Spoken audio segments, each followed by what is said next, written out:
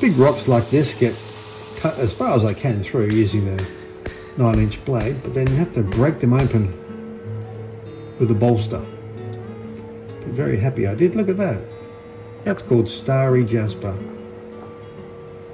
It's like snakeskin jasper, but with green bands as well as some quartz. It's beautiful, isn't it? It's one of my favourites.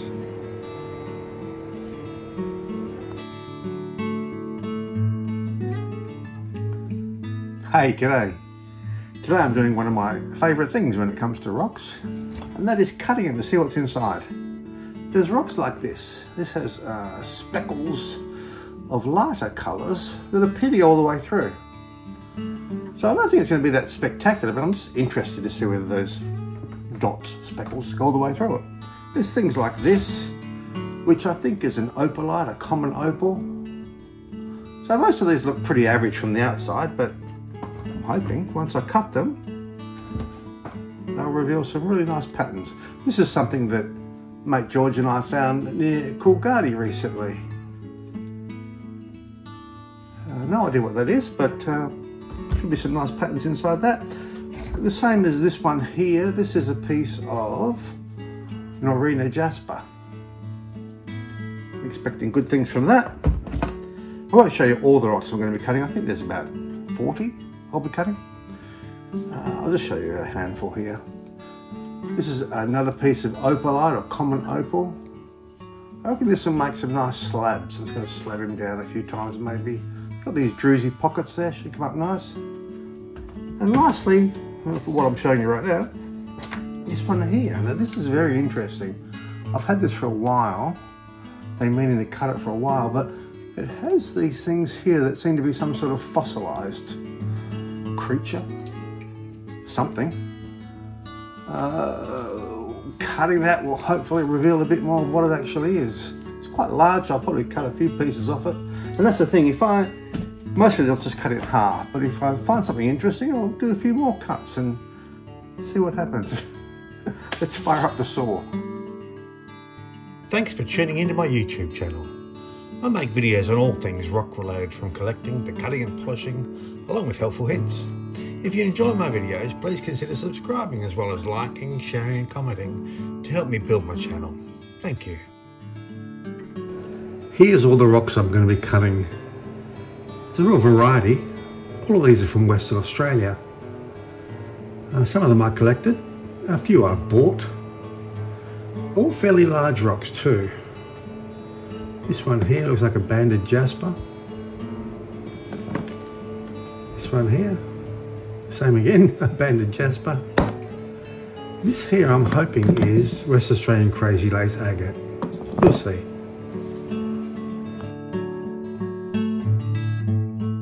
Time to cut some rocks. This is my 9 inch saw. I bought it second hand. A real I think.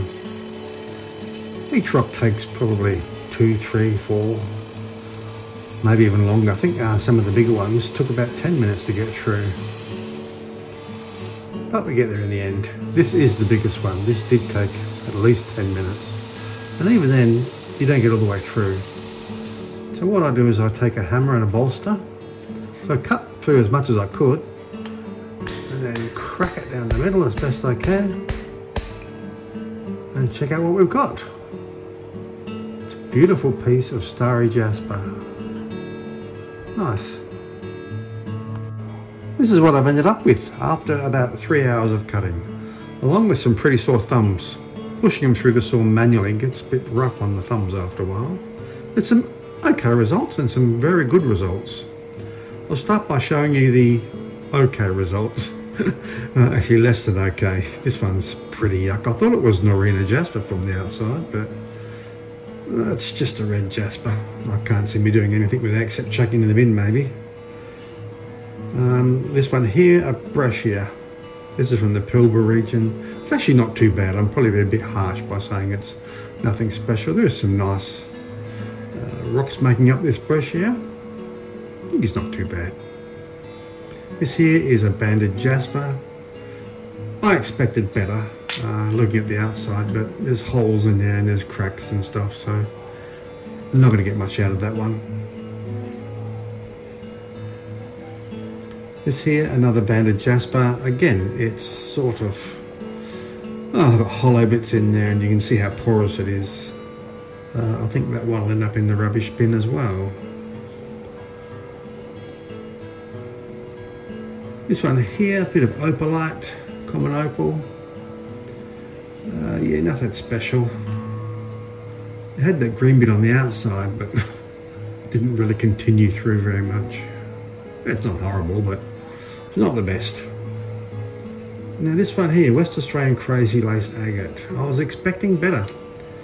It's not bad on the inside, but if you look at it on the outside, there's some beautiful patterns. I just thought they would continue on through. And maybe they had, maybe I missed them with that cut. It's okay, but I expected better. West Australian Crazy Lace Agate. Now this is a mystery rock from the Coolgardie area in Western Australia. Uh, just sort of stumbled across it on the side of the road and you know has some nice patterns but it's quite porous, quite soft. Not too sure if it'll take a polish. It looks nice though. This one here, also from the Coolgardie area. I don't know, is that a basalt or a granite? I really don't know. But those polka dots did extend all the way through. It was one of the ones I showed at the beginning of the video. So yeah, very happy with the way that continued through. This one here is West Australian Rhyolite, I think. It certainly has the colours, and it looked like it from the outside. But normally those pinky beige areas are nice circular patterns, pretty well circular. So I'm calling it West Australian Rhyolite, I may be wrong. Now this one here again, some opalite. This one has some quite nice patterns. We're starting to get some good stuff now. Uh, if you look at the colours and patterns in this, I really like that. Look at that orange there. Orangey yellow colour. Yeah, happy with him. This one here, some Jelly Bean Jasper. Again from our Pilbara trip a few months ago. Very nice even better close up. There's a lot going on in there. Jelly Bean Jasper. This one here I think is Nice. nice. Uh, there's some odd patterns in here. It's kind of like got ghostly shapes in it if you look long enough. Have a pause and tell me what you think. I can see skeletons and ghosts and all sorts of things. Maybe it's just my sick mind. Next up, another mystery rock. So this is from that same place at Coolgardie, where we've got that sort of soft, porous rock. Again, not sure, not too sure how it'll polish, but oh, I just like that colour, that red running through it. Next up, some more opalite. Starting to show a bit more colour in these ones now, that yellow green and white, orange and deep green. Some nice colours there. Now, snakeskin jasper. There's two types of snakeskin jasper. This is one. The other, um, sort of, it's, it's a brown rock and it looks more like snakeskin scales as opposed to this. So two types of snakeskin jasper. This is one of them. Quite nice. Another bit of jelly bean jasper from the Pilbara. A lot going on in this one very busy. It's a little fractured, I'm hoping there'll be enough pieces I can get some tumbled stones out of. This one here is some brecciated opalite. Well, that's what I'm calling it. It's definitely opalite. When you hold it, the, the rock feels waxy, um, which opalite does. But it's brecciated, uh, being broken up and then joined back together. Quite nice. This here is a bit of banded jasper. It's nothing special, just I like the colours. Uh, the yellows, the reds, the pinks. Got a few holes in it as well, so we'll see how well that polishes. Now this is amethyst. Looks like it's been brecciated, broken up and then filled in around with that yellow host. So I've done this before, pieces of this, and it comes out really nice. It might be one of the next batches I do actually. Now this is praise. A little different to the normal praise in that it's sort of a blue green rather than a, a rich sort of apple green. With some nice shapes running through it as well, some darker shapes. That should come up well. Next up, another piece of opalite. This one I found interesting, so he got cut twice. It's alright, it's very similar to that last one actually. There's little yellow bits floating there in the clear and white. It's quite nice. Now this is either picture jasper or outback jasper. I've been calling it picture jasper for years, but now I've started to notice people say this might be outback jasper. So yeah, take your pick I guess. This one here, again some snakeskin jasper, but look at that colour at the bottom. I think it might have just a hint of iron in there, making it that dark. So dark at the bottom, sort of going up through a whole beautiful range of reds and oranges. That's nice, I like it. Some magnesite. I thought magnesite was fairly soft until I cut this rock. It's really tough and some nice patterns as well. It's actually a little bit more greener than what it looks here. It's sort of a lime green. Some more opalite, this one fractured where there was a druzy pocket. So this will look nice as polished slabs, I think. You can see a lot going on there. Crystals, colours, druzy pockets. Nice.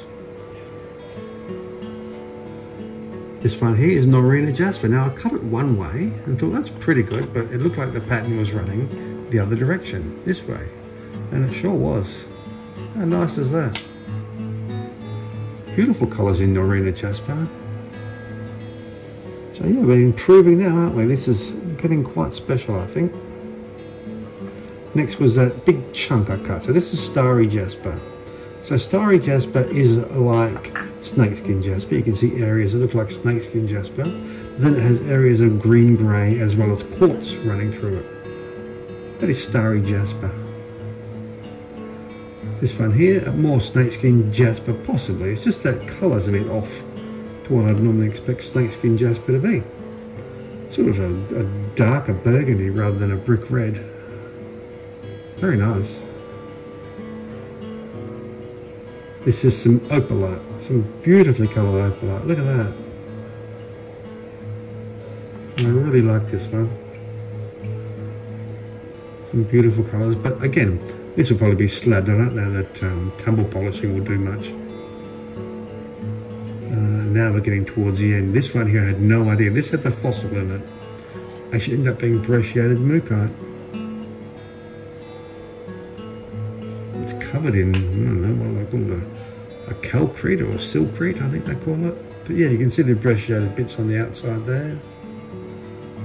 I have to cut him up in a few more pieces, see what happens. And then lastly, my favourite. This is a piece of West Australian crazy lace agate. So I cut one piece and thought, oh, that's nice. But I could sort of see it was getting better as it went along. So I cut another piece. Sure enough, it was even better. Some magnificent patterns in this. Very, very happy. So that's it for this video. I hope you enjoyed it.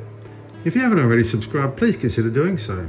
Also, if you know any friends that might be interested in this sort of stuff, share with them too. Till next time, see ya.